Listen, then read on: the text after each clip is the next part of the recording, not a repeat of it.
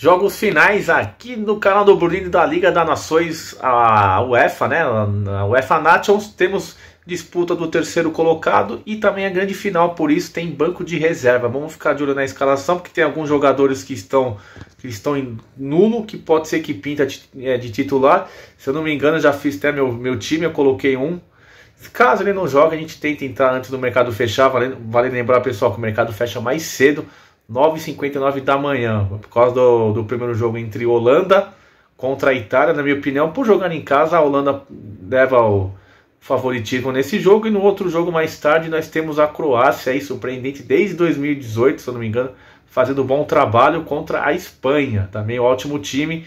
Então, na minha opinião, esse jogo é equilibrado, pode sair gol para ambas as equipes. A gente vai tentar fechar uma zaga, vamos ver se dá certo. Se não der certo, paciência, acontece que nem é hoje. É, tô gravando o vídeo e tá rolando o jogo do Brasil. O Brasil que só tomou. O Brasil tava ganhando. Por enquanto tá 2x1, um, né? Acabou o primeiro tempo. Os caras deu um ataque, fez o gol. Impressionante, né? Então saiu gol para ambas as, as, equipes nesse jogo. Beleza, pessoal? Então deixa o like aí para fortalecer o canal.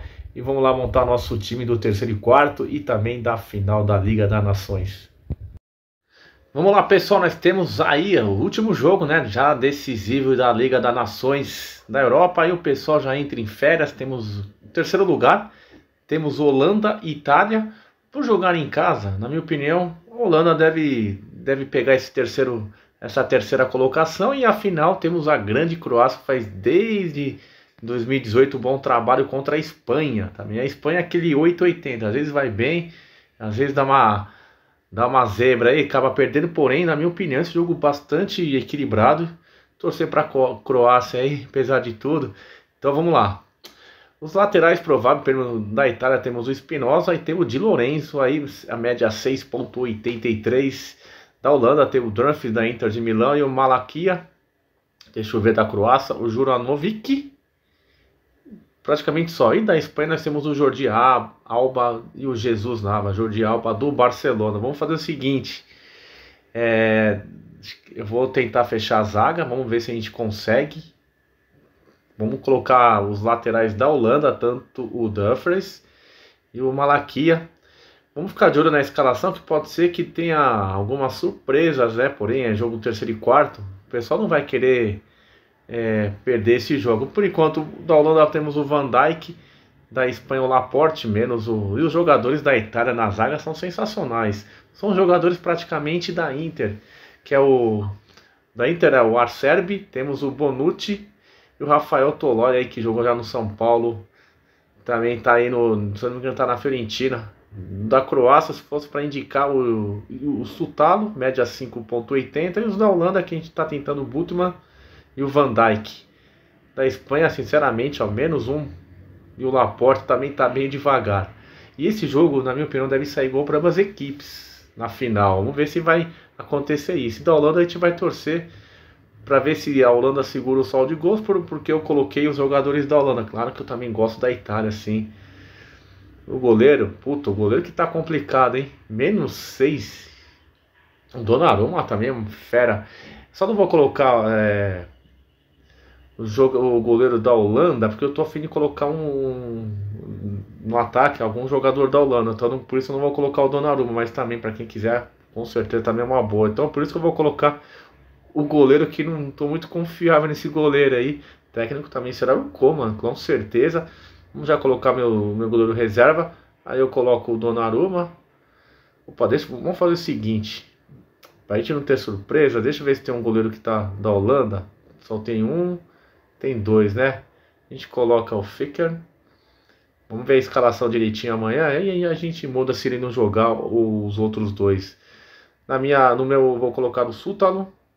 Na, na minha lateral, eu vou colocar, deixa eu ver, o Blind, apesar que ele tá nulo, pode ser que até joga de titular. Vamos ficar de olho na escalação. E aqui no meio para frente a gente tenta ver o que a gente faz. Com certeza, o Modric, o cara é fera fera, eu coloquei na rodada passada, ele foi muito bem. Fez o gol. O cara joga pra caramba. Eu vou, vou colocar o Perisic, vou fazer a dobradinha. Daria até para triplicar por falta de, de jogadores aqui. Apesar, eu gosto muito do Gavi, mas é aquele jogador que fica mais com a bola. Frank de Jong da Holanda.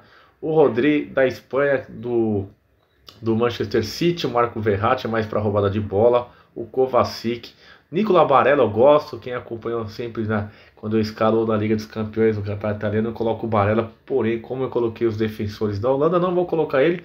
Na Espanha também tem o Mickey Merino, acho que do Real Sociedad, tem o Mário Pasalic, Pasalic também da Croácia, os jogadores croatas, ó, pelo menos na, na média tá bom.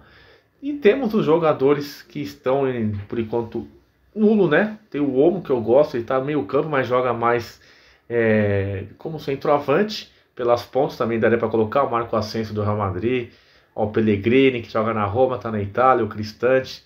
Porém, eles estão nulo. Pode ser que joga até de titular, mas vamos ficar de olho na escalação.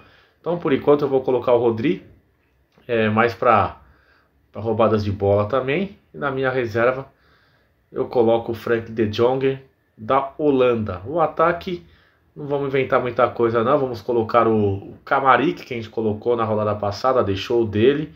Vou colocar o Álvaro Morata. O Morata é aquele jogador centroavante que depende de gol, né? Quem quiser colocar o Pino, média 3.53, ou o Rodrigo Moreno, pelo menos a média zero. Os jogadores da Holanda, por enquanto, ó, 2.80. Eu, ó, tem o Depay que a gente colocou, ele não jogou, gente, eu entrei antes do mercado fechar e consegui mudar. Eu vou colocar por enquanto o Capco, ele tá nulo. Pelo que eu vi, ele não foi, acho que não machucou nem tá suspenso. Porém, se ele não jogar, a gente muda direitinho, a gente vê. Então isso também não é problema que dá tempo. Ó, o mercado fecha 10 da manhã. Vamos ficar de olho aí, pessoal. Ó, o Ciro Immobile também da Itália faz gol pra caramba. 5.70. Ah, atacante é isso, não tem muito o que inventar não. A gente coloca o Steven Bergli da Holanda, claro, se o Capco não jogar, ele entra pra gente aí automaticamente, aí a gente coloca o jogador nulo. Esse ficou o nosso, o nosso time, não coloquei ninguém da, da Itália, por, apesar que eu gosto da Itália, né, descendente italiano, mas eu vou aqui, a gente tem que pensar em ganhar, né, para quem aposta, ganhar. Então, na minha opinião, a Holanda por jogar em casa, só dá aquela desanimada no terceiro e quarto, porém os europeus dão muito valor para terceiro lugar. A gente, nós brasileiros que não dá muita muita ênfase assim para quando tem esse ou segundo ou terceiro colocado, mas eles lá na Europa eles gostam muito aí. Esse foi o nosso time, espero que vocês gostem. Em breve tem mais aí, tamo junto.